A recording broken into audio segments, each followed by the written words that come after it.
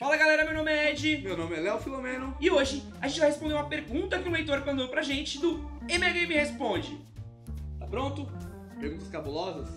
É, nossa, mano. E o final é surpreendente. Essa, essa é.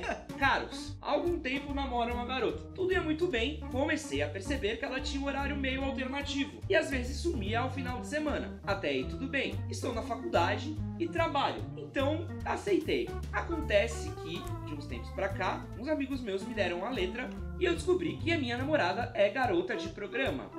Caralho. Meu. O que, que ele vai fazer? Namoraria uma garota de programa, Léo? Ah, eu não, não tenho esse, desprendimento. Tem que ser muito.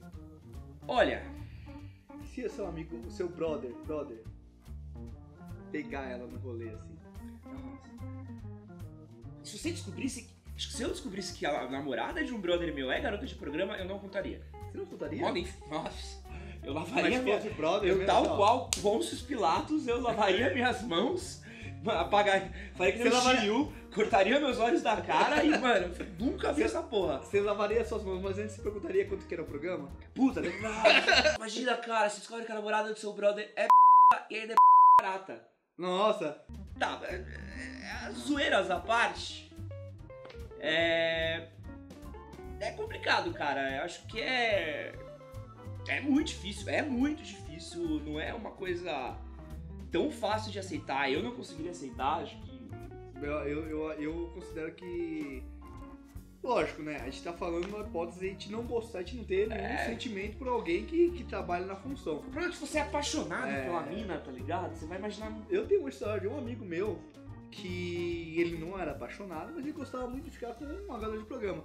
Então ele ia fora do expediente, chegava lá às 4 horas da manhã, depois que ela bateu o cartão, e eles tomavam uma breja, iam pro motel e eu curtia a vida, assim. É, Acho que assim, acho que dependendo das escolhas, se você gosta muito da pessoa, se você quer muito a pessoa, é, você às vezes abre mão de certas coisas e tem que estar muito bem com você mesmo e muito confiante. Sim, É, sim. tipo, é quase como namorar uma atriz pornô. Com a É. qualquer pessoa pode ir lá e fazer. Mas isso não faz dela uma pessoa pior. Tem muito cara que é honesto, que tem emprego honesto, é um filho da puta. É um babaca. e tem muita gente que tem emprego que é menor e é uma puta pessoa legal, puta pessoa bacana, honesta. Então acho que é.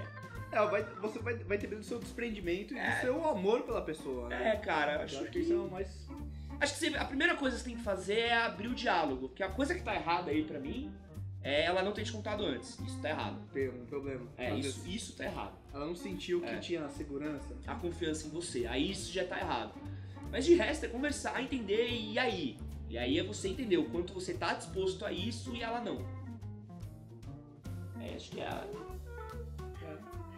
É. E no lado bom, você não vai pagar nada por isso. Nossa, o pior do lado bom que eu já ouvi na minha vida, cara. Ela vai fazer tudo o que quiser com você. Ou não, né? Porque ela não precisa fazer. Porque É. quando paga é uma coisa. Ah, mas. Só, Pô. sua namorada é engenheira, ela não criou o seu Ah, prédio. mas pelo menos você vai tra... É, isso foi a gente tentando responder. É difícil. É Cara, é difícil. difícil, difícil. Não, não julguem a gente, a gente. E você, o que você faria? É, o que você faria? Se você gostou desse vídeo, Indique pros seus amigos, curta o canal. E manda uma pergunta pra gente. Não é? Se você não quiser mandar aqui nos comentários, você pode mandar diretamente pro nosso e-mail, que vai estar aqui na descrição do vídeo. Valeu! Valeu.